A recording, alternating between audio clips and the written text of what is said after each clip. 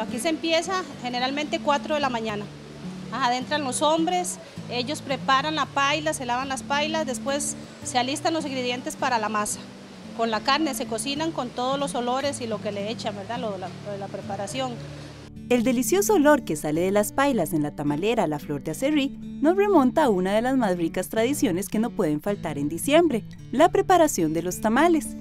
Esta costumbre inicia desde la época prehispánica, de allí su nombre náhuatl tamayi, que significa envuelto. Lo principal de los tamales es la masa. Entonces tal vez ustedes vieron ahora todo lo que le he hecho yo. Yo le echo y le echo y es un montón de costo, por eso el tamal aquí tiene otro costo más. Ustedes vieron picando la carne, es un buen pedazo de carne, pura carne, ¿ve? para que el tamal se, sepa bueno. La carne de cerdo siempre ha sido la principal protagonista, pero en la tamalera La Flor de Acerrí se elaboran tamales rellenos de pollo y frijol.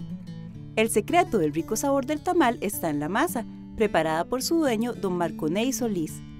En el caso del el tamal para Navidad, coincide el calendario eh, solar azteca con eh, la celebración cristiana de la Natividad de Jesús.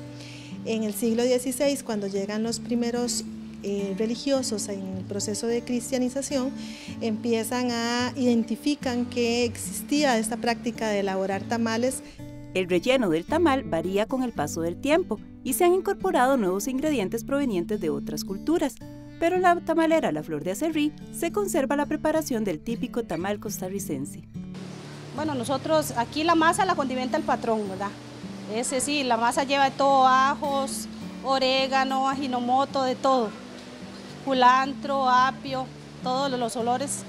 Después, nosotros ya cuando nosotros entramos la masa está lista. Nosotros picamos la carne, hacemos el arroz, picamos chile, vainica, zanahoria y alistamos la hoja. Se limpia la hoja y después se prepara. La preparación de los tamales demanda tiempo y trabajo.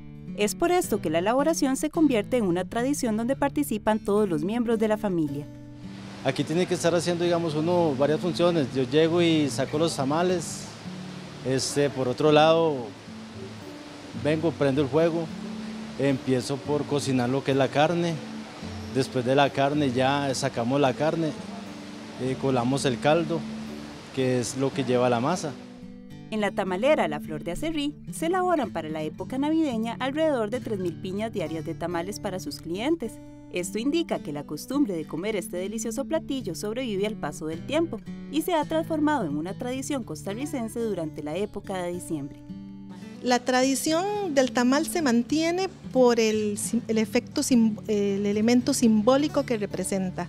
Eh, el tamal lo asociamos a celebración, a fiesta y a Navidad. Eh, tiene elementos nostálgicos de, de nuestra familia. En Desde la U le deseamos que pase unas felices fiestas y pueda degustar en compañía de su familia de este delicioso platillo típico de la Navidad.